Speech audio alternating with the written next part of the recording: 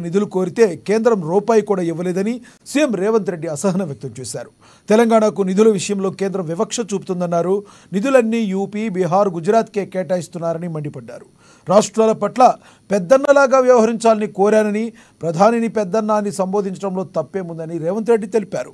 రాష్ట్రానికి నిధులు సాధించడం కోసమే పెద్దన్న అని సంబోధించానని స్పష్టం చేశారు రేవంత్. రాష్ట్రాల ముఖ్యమంత్రులకు ఈ దేశ ప్రధానమంత్రి పెద్దన్న లాంటి వాడు మీరు వివిధ రాష్ట్రాలలో అభివృద్ధి కార్యక్రమాల కోసం అనుమతులు అభివృద్ధి కోసం నిధులు మీరు ఇవ్వండి మీరు పెద్దన్న పాత్ర పోషించండి. ప్రధానమంత్రి అంటేనే పెద్దన్న రాష్ట్ర ముఖ్యమంత్రులందరినీ సమానంగా చూడాలి. మీరు గుజరాత్ రాష్ట్రానికి ఏ విధంగా నిధులు తీసుకెళ్తున్నారో మీరు ఉత్తరప్రదేశ్కి ఏ విధంగా నిధులు తీసుకెళ్తున్నారో బీహార్లో మీ పొత్తుల ప్రభుత్వంలోకి ఏ విధంగా నిధులు తీసుకెళ్తున్నారో తెలంగాణ రాష్ట్రానికి కూడా ఆ విధంగా నిధులు ఇవ్వాలి. తెలంగాణ రాష్ట్రం కేంద్ర ప్రభుత్వానికి ఒక్క రూపాయి పన్ను చెల్లిస్తే నలభై మూడు పైసలే తిరిగి మాకు వస్తున్నాయి. అదే బీహార్ రాష్ట్రం నుంచి ఒక్క రూపాయి పన్ను చెల్లిస్తే ఏడు రూపాయల ఇరవై ఆరు పైసలు తిరిగి బీహార్ రాష్ట్రానికి మీరు నిధులు విడుదల చేస్తున్నారు. ఉత్తరప్రదేశ్కు ఆరు రూపాయల పైచిలకు ఒక్క రూపాయి ఉత్తరప్రదేశ్ కేంద్రానికి పన్నులు చెల్లిస్తే ఆరు రూపాయల పైగా ఉత్తరప్రదేశ్కు మీరు నిధులు ఇస్తున్నారు.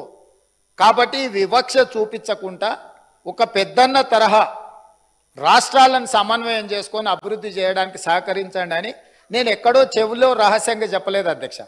ఆదిలాబాద్లో అక్కడనే మిత్రుడు ఎమ్మెల్యే గారు ఉన్నారు భారతీయ జనతా పార్టీ నుంచి.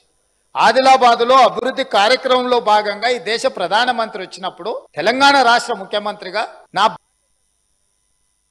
పాతబస్తీ మెట్రో నిర్మాణాన్ని గత ప్రభుత్వం నిర్లక్ష్యం చేసిందని సీఎం రేవంత్ రెడ్డి అన్నారు. పాతబస్తీలో మెట్రో నిర్మాణంపై ఎంఐఎం ఎమ్మెల్యే అక్బరుద్దీన్ చేసిన వ్యాఖ్యలకు అసెంబ్లీలో సీఎం సమాధానం ఇచ్చారు. పాతబస్తీ అంటే ఓల్డ్ సిటీ కాదని అది ఒరిజినల్ సిటీ అని పేర్కొన్నారు. పదేళ్ళ బీఆర్ఎస్ పాలనలో ఓల్డ్ సిటీకి మెట్రో రైలును అందుబాటులోకి తీసుకురాలేదని రేవంత్ రెడ్డి ఆరోపించారు.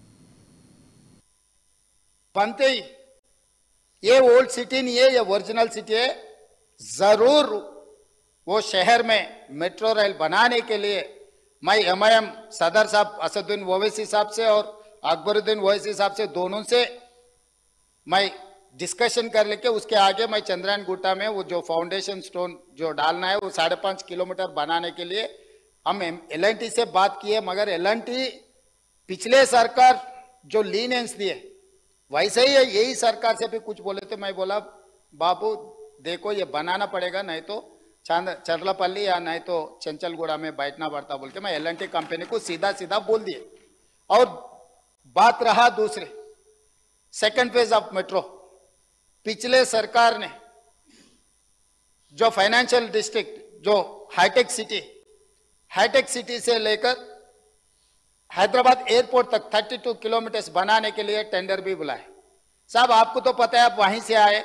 हर दिन आपको कॉन्स्टिट्यूंसी को जाना है तो वही आउटर रिंग रोड से वहीं से जाते हैं आप। आपके कॉन्स्टिट्यूंसी अगल बगल में, आप हैदराबाद शहर में, बचपन से आप इधर ही पढ़े लिखे, आप इधर का ही है। जो जो आउटर रिंग रोड है 500 फीट का रोड है, आठ लेन रोड है जूबली हिल्स बंजारा हिल्स हाईटेक सिटी से कोई भी, अगर एयरपोर्ट को जाना है तो कार में जाते, सर। ड्राइवर भी साथ में नहीं जाते, क्योंकि ये जाके गाड़ी एयरपोर्ट में रख दे के फिर